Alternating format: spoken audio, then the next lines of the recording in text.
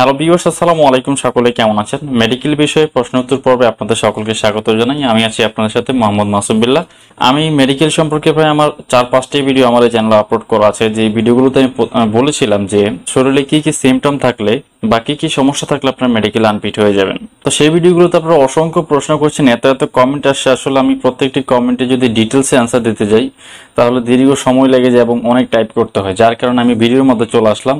আটটি প্রশ্নের অ্যান্সার দেব, খুবই গুরুত্বপূর্ণ আটটি প্রশ্ন, যে প্রশ্নগুলো আপনারা বারংবার করে আসছেন, তো সেই প্রশ্নগুলোর অ্যান্সার আমি এই ভিডিওতে দেওয়ার চেষ্টা করব। তার আগে বলুন যারা আমার চ্যানেলে নতুন জয়েন হয়েছেন, তারা প্রবাসের যে কোনো আপডেট তথ্য পেতে আমার চ্যানেলটিকে সাবস্ক্রাইব করে রাখতে পারেন এবং পাশে থাকে বেল আইকনটি বাজিয়ে দিবেন, যখনই আমি কোনো ভিডিও আপলোড করব সরাসরি সবার আগে আপনার কাছে চলে যাবে।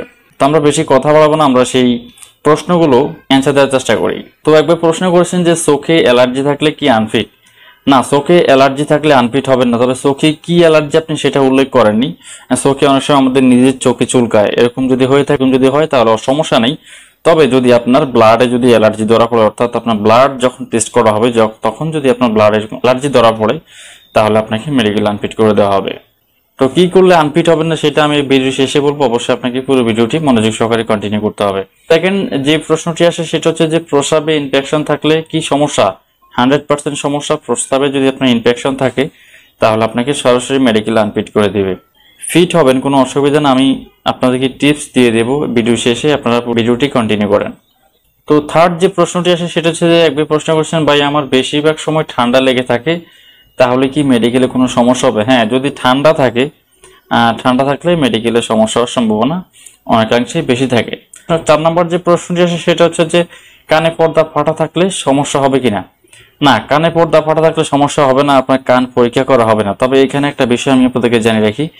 যদি আপনি বিদেশে কোনো গ্যাস কোম্পানিতে কাজ করতে যান, তাহলে কিন্তু সমস্যা হবে।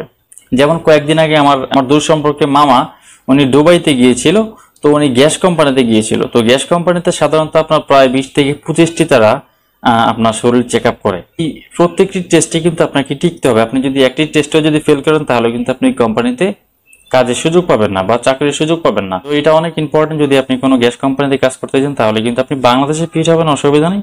তবে সেই দেশে গেলে যখন আপনার কান টেস্ট করা হবে, তখন কিন্তু অসুবিধা হতে পারে। কারণ কানে পর্দা যদি ফুটো হয়ে যায়, তাহলে কিন্তু আপনার কানে অতটা স্বাভাবিক মানুষের তুলনায় আপনি একটু কম শুনবেন। ঠিক আছে? তো পাঁচ নাম্বার যে প্রশ্নটি, সেটা হচ্ছে যে ভাই, আমার বুকে ধরপড় করে আমি কি মেডিকেলে আনফিট হব? দেখুন, বুকে যদি ধরপড় করে, আপনার হার্টবিটের সমস্যা হার্টবিট যদি ঘন ঘন যদি আপ ডাউন করে তাহলে সমস্যা হতে পারে। এটা কিন্তু ইসিজির মাধ্যমে কিন্তু ধরা পড়ে। বেসিক্যালি কিন্তু ইসিজি সব মেডিকেলে করা হয় না। যদি আপনার ইসিজি করে, তাহলে কিন্তু আপনি মেডিকেলে আনফিট হয়ে যাবেন। ঠিক আছে?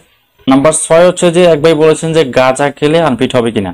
হান্ড্রেড পার্সেন্ট, কোনো সন্দেহ নাই। এখন নতুন একটি টেস্ট বের হয়েছে, সেটা হচ্ছে ডোপ টেস্ট এই ডোপ টেস্ট যদি করে, আপনার ইউরিং এর মাধ্যমে ডোপ টেস্টটা করা হয়, এই ডোপ টেস্টটা যখন করবে, তখন কিন্তু আপনি যে নেশা করেছেন, সেটা কিন্তু ধরা পড়বে। যারা নেশা করেন, তিন মাস আগে থেকে মেডিকেল করার তিন মাস আগে থেকে আপনারা এই নেশা জাতীয় দ্রব্য আপনি গ্রহণ বন্ধ করে দিবেন। তাহলে আপনি ডোপ টেস্টে টিকে যাবেন, ঠিক আছে? আপনাকে সর্বনিম্ন তিন মাস আপনাকে অপেক্ষা করতে হবে। তিন মাস আপনাকে এটা বন্ধ রাখতে হবে। তিন মাস পরে যে আপনি ডোপ টেস্ট করলে আপনারা ধরা পড়বে না, ঠিক আছে?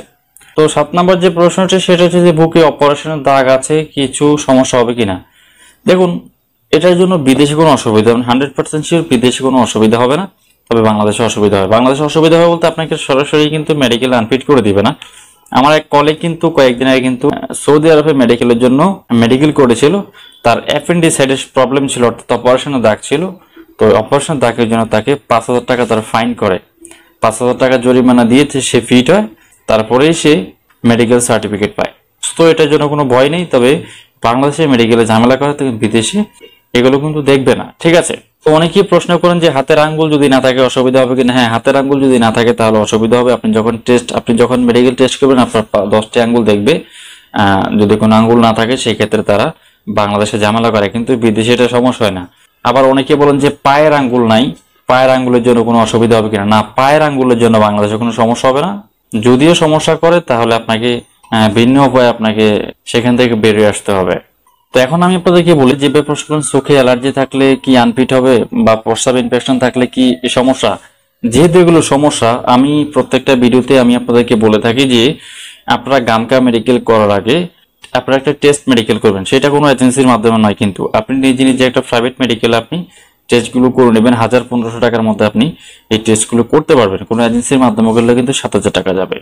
সো নিজে নিজে টেস্টগুলো করে নেবেন যে আপনি আসলে ফিজিক্যালি স্ট্রং আছেন কিনা, ঠিক আছে কিনা, সুস্থ আছেন কিনা। যদি থাকেন, তখন আপনি ফাইনাল মেডিকেল করবেন, তখন আপনার কোনো ভয় থাকবে না। কিন্তু আপনি যদি সরাসরি যদি আপনি গ্রামকে মেডিকেল করতে যান, তখন কিন্তু আপনার ভিতরে একটা ভয় কাজ করবে যে, আসলে আমি ফিট হব নাকি আনফিট হয়ে যাব।